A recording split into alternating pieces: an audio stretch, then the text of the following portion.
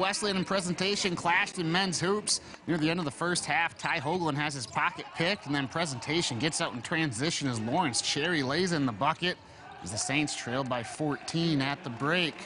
Then in the second half, Hoagland's going to come around, catch, pop, and knock down the triple. Dell Rapids product led all scorers 26 points. Tigers lead 51-32. Few possessions later, Nick Harden finds Tyson Smiley open underneath the hoop. Count the bucket and the foul. Smiley added 17. Dakota Wesleyan cruises to the 95-62 victory. The Saints and Tigers also cross paths on the women's side. Opening quarter, Kennedy Cheeseman drives. The floater won't go, but Jessica Mears is there for the board and the putback as she tallied 13 points. That capped off an early 6-0 Tiger run. Later in the first, presentations Tony Oglesby gets the ball, then works her way through the lane and finishes off the glass with the left hand for two of her eight points. That evens the game up at eight.